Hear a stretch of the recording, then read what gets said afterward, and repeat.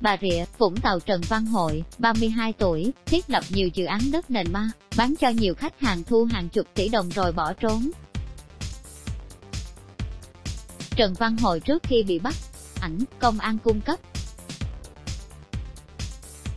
Hội quê Nam Định, giám đốc công ty cổ phần đầu tư xây dựng và địa ốc Hưng Phú Group, trụ sở tại thành phố Bà Rịa, bị công an tỉnh Bà Rịa Vũng Tàu bắt để điều tra hành vi lừa đảo chiếm đoạt tài sản khi đang lẫn trốn ở thành phố Đà Lạt, ngày 23 tháng 2.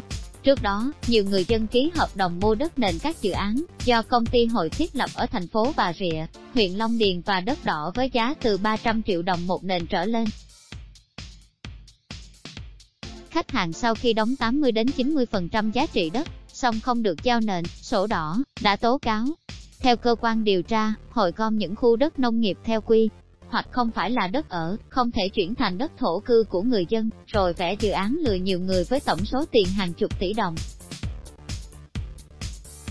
Ngoài ra, ông ta đem đất đã bán đi cầm cố. Cuối năm ngoái, hội đóng cửa công ty rồi bỏ trốn. Trường Hales Block X.